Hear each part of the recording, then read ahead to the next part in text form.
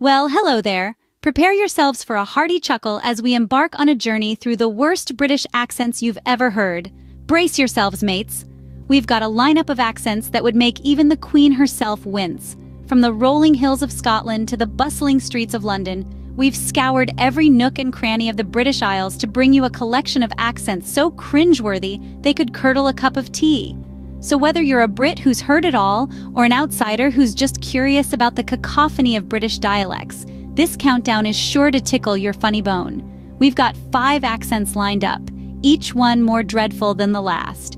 And remember, this is all in good fun, so don't take it too seriously. Are you ready?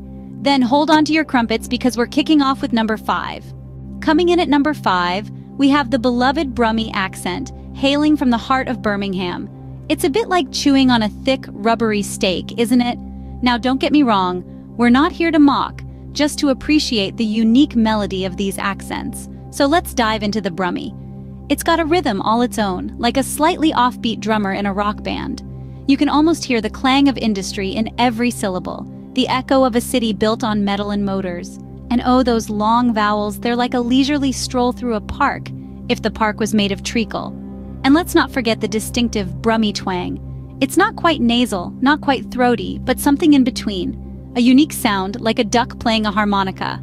Well, if you thought that was a hoot, just wait until you hear what's next. At number four, we've got our good old Cockney accent. It's as if a bunch of apples and pears started having a chat, isn't it? Now picture this. You're walking through the old East End of London. You stumble upon a bloke who greets you with, All right, governor? Fancy a cup of Rosie Lee? If you're left scratching your head, don't worry, you're not alone. You've just had your first taste of Cockney rhyming slang, where Rosie Lee means tea. Don't even get me started on how apples and pears mean stairs, or how dog and bone is phone.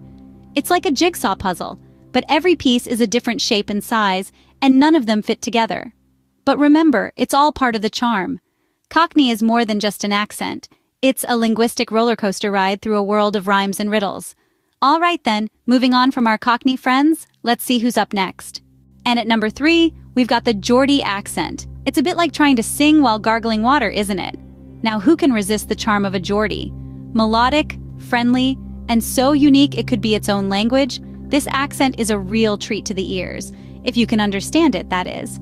Just imagine, you've dropped your T's, you're rolling your R's, and you're bending your vowels like a contortionist at a circus. It's like every word is a roller coaster of sound, taking you on a wild ride through the linguistic landscape of the northeast of England. And let's not forget the famous Geordie phrases. Why I, man? That's not just a simple yes. It's a declaration of joy, a statement of agreement, a proclamation of Geordie pride. Oh, we're not done yet, mates. Fasten your seatbelts as we dive into the final two. Sliding in at number two, we've got the Scouse accent. It's a bit like a seagull squawking at a fish and chip shop, isn't it? Now, the Scouse accent, it's a wild ride, I tell ya. From Liverpool, this accent is as distinctive as their love for the Beatles. It comes with a rhythm that's almost musical, like a song you can't quite get out of your head, no matter how much you might want to. Picture this. You're walking down the street when a Scouser comes up to you and says, I, mate, got any spare change? but it sounds more like, Hey mate, got any spare change? It's a bit like a roller coaster, this accent. One minute you're up here, the next you're down there. But don't you worry, while it may sound like they're having a go at you, it's all in good fun. Scousers are known for their humor, after all.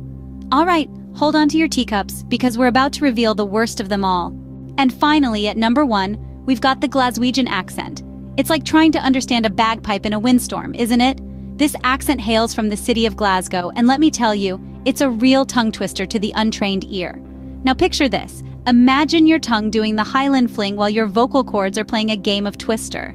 That's the Glaswegian accent for you, full of deep guttural sounds and rolling R's. It's like a linguistic roller coaster, thrilling and terrifying at the same time. And let's not forget the unique vocabulary. Glaswegians don't just go home, they gone hame. And if they're not gone hame, they're oot and a boot. It's a wild linguistic ride, folks. Well, there you have it, folks. Those were the worst British accents according to our countdown. Now don't be a stranger. Make sure to subscribe to our channel for more hilarious content. Cheerio!